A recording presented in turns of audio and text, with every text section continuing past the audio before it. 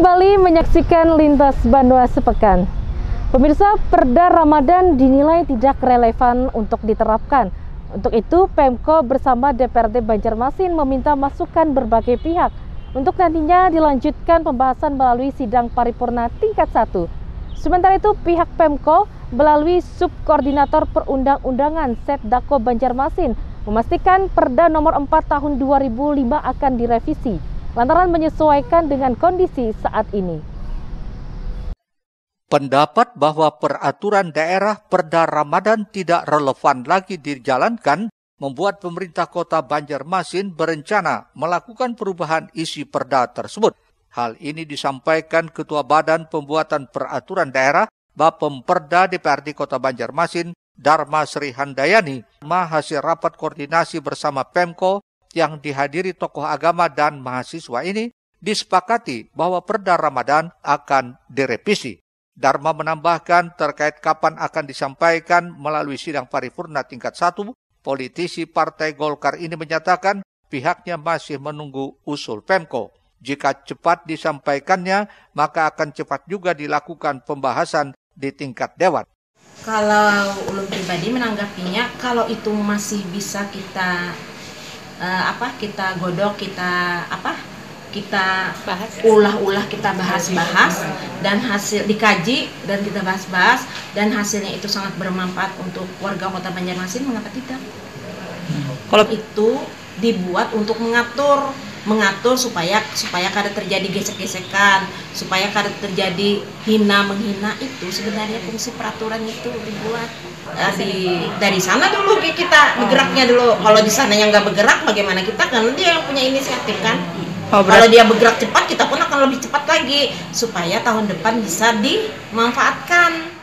Dharma mengakui Perda nomor 4 tahun 2005 sudah terlalu lama dan dinilai sudah tidak relevan lagi dengan sekarang ini sehingga sangat wajar untuk direvisi.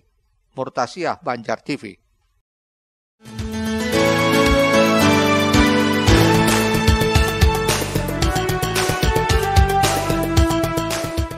Sementara itu, Subkoordinator Perundang-undangan Setdako Banjarmasin, Jepri Pransa, turut membenarkan bahwa Perda nomor 4 tahun 2005 tentang Ramadan bakal direvisi dan menjadi usul Pemko. Terkait perubahannya, Jeffrey belum bisa memberi perincian lebih jauh sebab belum ada pembahasan yang lebih intensif termasuk poin apa saja yang nantinya akan berubah. Nah, terkait apa poin-poin perubahan ini belum bisa difinalkan, tapi secara gambaran besar eh, untuk perda Ramadan itu nanti judulnya bukan pelarangan karena isinya tidak ada melarang tapi hanya membatasi. Maka nanti mungkin uh, judul akan lebih disesuaikan apakah itu pembatasan atau pengaturan kegiatan di bulan Ramadan. Dan secara isi nantinya tidak hanya mengenai makan dan minum, tidak hanya mengenai hiburan, tapi mengenai hal-hal lain kira-kira eh, perlu diatur kegiatan di bulan Ramadan. Itulah secara garis besar ini. Jepri menekankan secara garis besar akan mengatur dan mencakup seluruh elemen tapi yang jelas akan direvisi karena sudah tidak sesuai dengan sosial ekonomi masyarakat. Pemirsa Ketua Pansus Raperda Revisi Perda nomor 9 tahun 2013 tentang perlindungan dan pemenuhan hak-hak penyandang disabilitas, Nur Latifah, menyatakan perda disabilitas siap disahkan dan untuk diparipurnakan. Di samping itu, revisi perda disabilitas yang segera akan disahkan untuk Kota Banjarmasin merupakan salah satu bentuk dan langkah kemajuan sekaligus untuk perhatian bagi penyandang disabilitas. DPRD Kota Banjarmasin beserta pemerintah kota setempat sepakat untuk menyiapkan pengesahan revisi peraturan daerah perda tentang disabilitas. Ketua Panitia Khusus Pansus Raperda Revisi Perda nomor 9 tahun 2013 tentang perlindungan dan pemenuhan hak-hak penyandang disabilitas Nur Latifah di Gedung Dewan Kota beberapa waktu lalu menyebut pembahasan raperda ini sudah dipinalisasi. Anggota DPRD Kota Banjarmasin tersebut menyatakan DPRD dan pemerintah kota pada pembahasan finalisasi tersebut sudah sepakat segala poin dalam raperda itu sebagai bentuk revisi perda. Di antaranya kata Ketua Pansus biasa dipanggil Lala terkait pemenuhan sarana dan prasarana bagi kaum disabilitas dan sarana transportasi yang ramah disabilitas. Berbeda dengan perda sebelumnya karena memang kami juga melakukan komunikasi dengan eh, apa organisasi-organisasi di penyandang disabilitas yang ada di Kota Banjarmasin. Jadi sesuai dengan amanah Undang-Undang Nomor 8 Tahun 2016 juga bahwa di Perda ini harus ada uh, unit layanan disabilitas di setiap dinas minimal harus uh, apa diusahakan harus ada.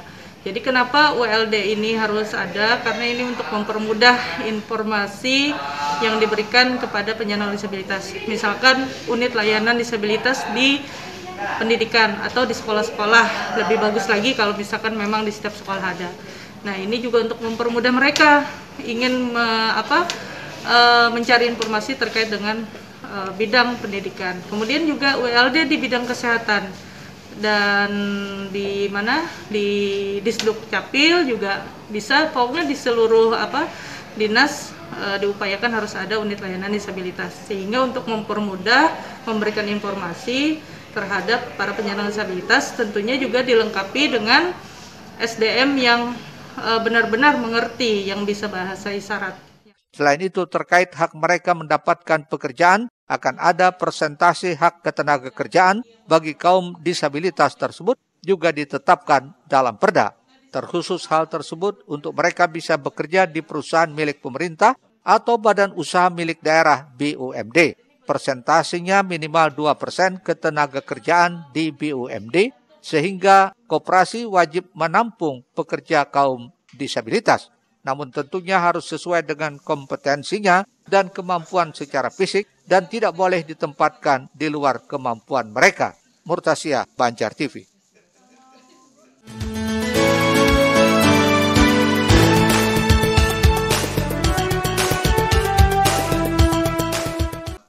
Sementara itu dalam revisi perda ini menurut Nur Latifah, pihak kota Banjarmasin juga perlu membangun rumah perlindungan sosial bagi penyandang disabilitas. Disebutkannya pula revisi perda ini sebagai langkah kemajuan untuk perhatian bagi kaum disabilitas. Karenanya diharapkan perda ini benar-benar mengayomi para penyandang disabilitas. Itulah sebenarnya yang membuat pembahasan raperda ini berjalan cukup panjang sejak tahun 2021 lalu. Uh, Inclusive Center Inklusi Center ini adalah tempat atau wadah berkumpulnya juga para penyandang disabilitas atau mungkin organisasinya ya, organisasinya sehingga juga di sini merupakan apa tempat atau wadah forum komunikasi dan ketika juga um, ada dari luar daerah misalkan ingin berkunjung uh, terkait dengan sharing informasi apa segala macam kan bisa langsung ke inklusi center yang dibangun oleh pemerintah Kota Banjarmasin. Intinya um, untuk inklusi center kemudian komite ini adalah memba, apa memperkuat istilahnya memperkuat uh, apa jaringan lah istilahnya supaya apa yang menjadi persoalan uh, baik itu pemenuhan hak penyandang disabilitas bisa terpenuhi bisa tersampaikan dengan baik. Ketua Pansus Nur Latifah mengaku selama melakukan pembahasan banyak menerima masukan baik dari kaum disabilitas sendiri maupun masyarakat umum serta para akademisi hingga melihat aturan yang sama di daerah lain. Risna Banjar TV. Ya pemirsa, Pemko Banjarmasin melalui Dinas Pengendalian Penduduk, Keluarga Berencana dan Pemberdayaan Masyarakat terus lakukan sosialisasi dan edukasi terkait stunting atau permasalahan gizi. Selain itu melalui program PIK Remaja, Dinas P2 KBPM berupaya melayani dan memberikan pendidikan terkait kesehatan reproduksi, tumbuh kembang remaja dan perencanaan kehidupan melalui pendewasaan usia perkawinan. Persoalan stunting atau masalah gizi kronis adalah akibat kurangnya asupan gizi dalam jangka waktu panjang sehingga mengakibatkan terganggunya pertumbuhan pada anak. Ini menjadi urusan wajib bagi setiap daerah termasuk kota Banjarmasin. Karenanya Pemko Banjarmasin melalui Dinas Pengendalian Penduduk Keluarga Berencana dan Pemberdayaan Masyarakat berupaya meningkatkan kesehatan dan kualitas layanan pendidikan masyarakat terutama usia remaja agar angka stunting bisa ditekan. Untuk itu dinas yang diberi tugas tentang hal ini terus menggencarkan sosialisasi dan edukasi berkelanjutan terutama bagi pelajar di semua tingkatan pendidikan. Ini seperti disampaikan Sekretaris DPP KBPM Kota Banjarmasin Rosmarini Espianti usai pertemuan dengan Komisi 3 DPRD Banjarmasin beberapa waktu lalu. SKPD ada 12 SKPD terkait bekerja sama untuk mempercepat uh, pencegahan dan penurunan stunting ini di Kota Banjarmasin. Nah, jadi uh, kerjanya tidak bisa sendiri lagi. Jadi dinas kesehatan dia tetap harus memaksimalkan uh, gizi sensitifnya dan kami di 11 SKPD yang lain harus juga memaksimalkan untuk intervensi gizi sensitif. Eh tadi spesifik lah yang ya. kesehatan. Nah, ya, kami juga harus memaksimalkan yang sensitifnya. Mudah-mudahan uh, dengan uh, kerjasama yang baik dari berbagai SKPD kita di Kota Banjarmasin percepatan ini bisa lebih cepat lagi. Karena harapan presiden kan di 2014 eh, Indonesia sudah mencapai posisi 14 atau di bawahnya lagi. Bu, stunting ini Bu memang bawaan janin kah? Atau karena penyebabnya ibunya lah kekurangan gizi? Saat ini Pemko Banjarmasin terus berupaya menurunkan angka stunting dengan berbagai cara, sebagaimana disepakati pada rembuk stunting yang dilaksanakan belum lama tadi. Rishna Banjar TV.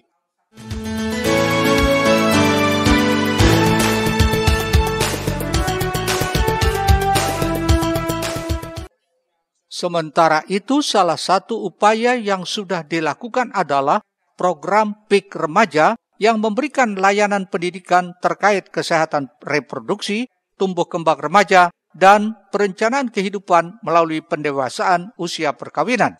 Diakui berbagai upaya tersebut terus digalakkan. Selain itu, edukasi bagi orang tua muda akan pentingnya kecukupan gizi bagi pertumbuhan anak selalu dilakukan. Rosmarini menjelaskan angka stunting di kota Banjarmasin berada pada angka 27,8 persen. Ini berdasarkan hasil survei status gizi Indonesia atau SSGI tentu erat kaitannya dengan gizi. Ya. Jadi dari mana sebabnya? Uh, berarti kita kan banyak faktor ya.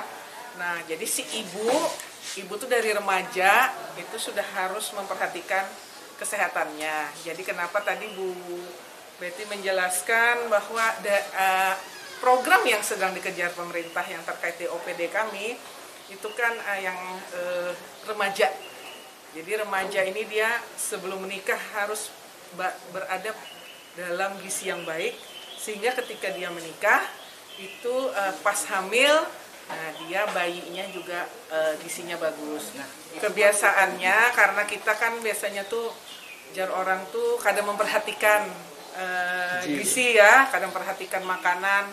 Nah, mungkin ada yang sebagian sadar tapi malas, tapi ada juga yang mereka nggak mengerti bahwa gizi itu uh, uh, penting. Ada yang misalnya remaja anemia, kurang darah karena makan tidak dijaga.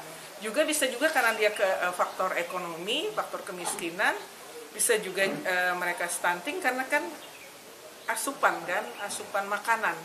Nah, untuk menjaga kita supaya tidak uh, dari kecil atau dari bayi atau dari dalam perut tidak kena stunting kan semuanya asupan gizi itu sangat berpengaruh Pak.